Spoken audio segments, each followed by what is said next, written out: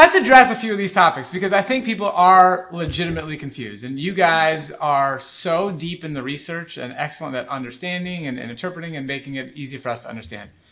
People continue to cite the Mediterranean diet and the research done on that as a reason to consume fish.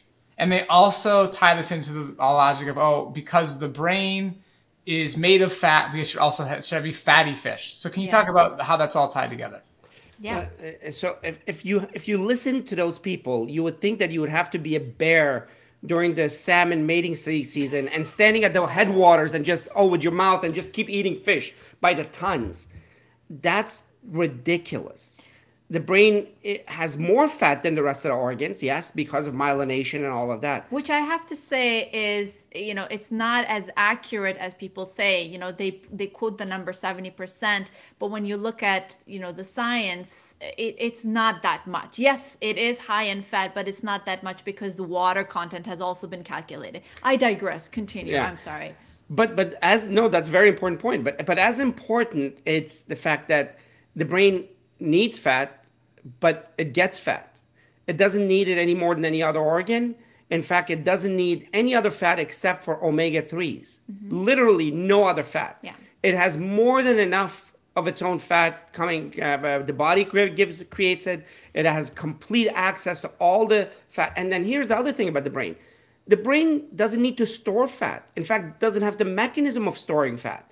It just needs structural fat and mm-hmm. structural fat is a lot easier to get from from the the body and our body makes enough cholesterol that actually is used to maintain the infrastructure of the brain we don't need extra cholesterol from our diet uh, or anywhere else to maintain that beautiful infrastructure. Like Dean said, omega 3 fatty acids are the only ones that we need on a regular basis.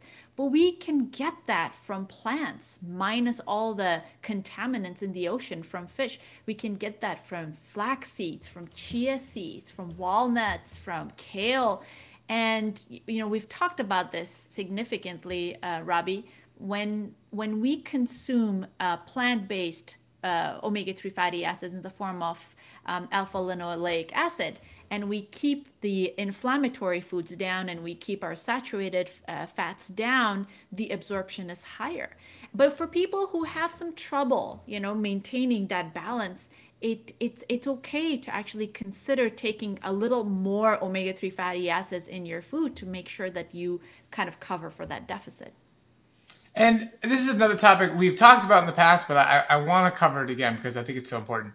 If somebody is just really they're concerned, they're just really questions. Oh, I'm just not sure. I don't. I'm not sure I'm getting enough, you know, EPA and DHA for my brain health. Are there any tests or or, or, or like um, blood work they could do to assess and, and reassure themselves that they're okay?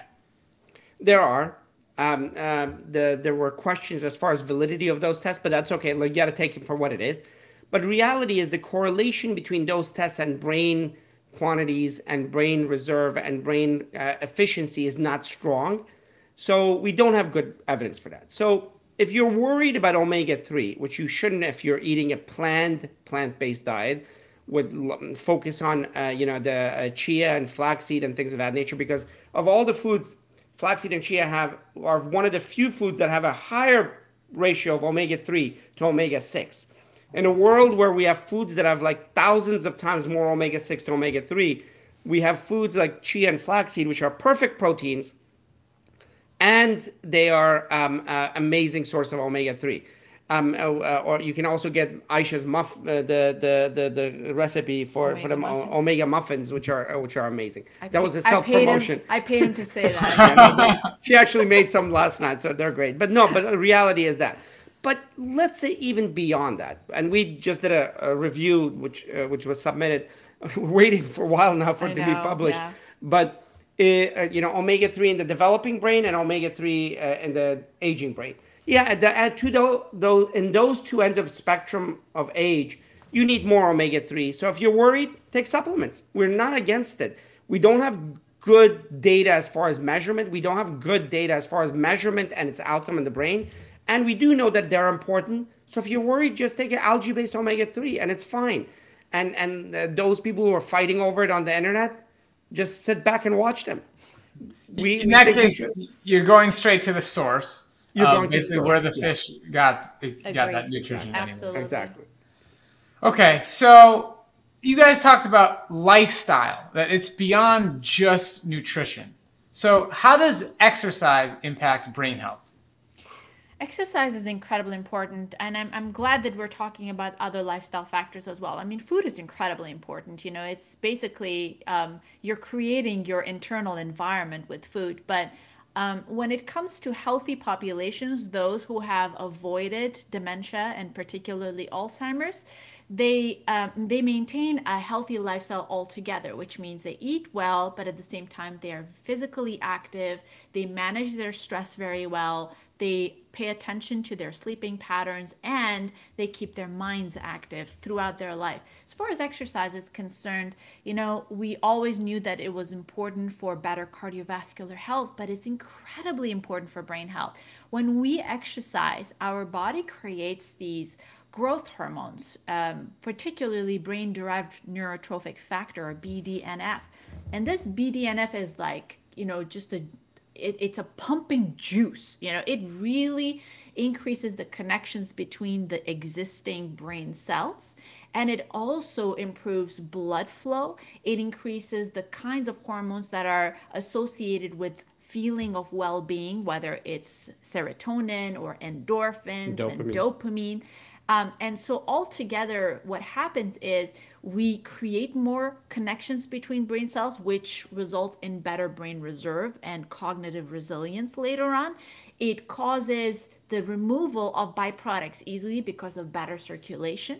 And it also grows parts of our brain. There, there have been studies that show that when people engage in, you know, say strength training exercises, especially those that are focused on your legs, the part of the brain, hippocampus, actually grows literally. And these were adults who already had some mild cognitive impairment. And I think that's one of the most empowering messages out there, showing us that even if people have some symptoms, if they engage in exercise, their brain literally grows why is this not news? Why is it not news? Because there's no money to be made. it's not being promoted by any company. Uh, but here is something that we have in our power to do to completely change the structure of our brain. And I think we should all do it and, and um, embrace it. In fact, one Harvard study showed that a, that a continu- continuous, consistent brisk walk, 25 minutes brisk walk every every day, reduces your chance of Alzheimer's by as much as 45%. Now imagine if diet can reduce your risk by 53% and exercise can reduce it by 45%. I mean the statistics doesn't work, you don't add it, but just just look at how much power we have to prevent this devastating disease. And and and the beauty of exercise is we always start our program with exercise at its at, at the beginning because the reward is quicker. The, the outcome and behavior and reward. You know that's I'm a behavioral neurologist.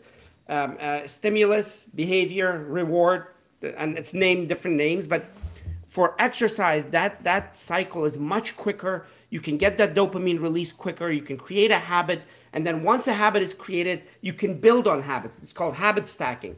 So it, exercise for multiple reasons, both intrinsically because of BDNF, vasculature blood and blood flow to the brain because you're moving uh, uh, because of um, uh, uh, all the other factors like dopamine oh by the way here's another thing one of the best antidepressants is study after study or for anxiety or anxiety medicine is exercise yeah so the the the the, the, the effect is just multifactorial so everybody listening right now go start walking. Bring your yes. computer with you. Listen to this on your phone. Like get that 40, you said 40 minute brisk walk? Yes. Uh, uh no, 25 minutes. 25, 25. Yeah, 25. Yeah. yeah. Okay. Yeah.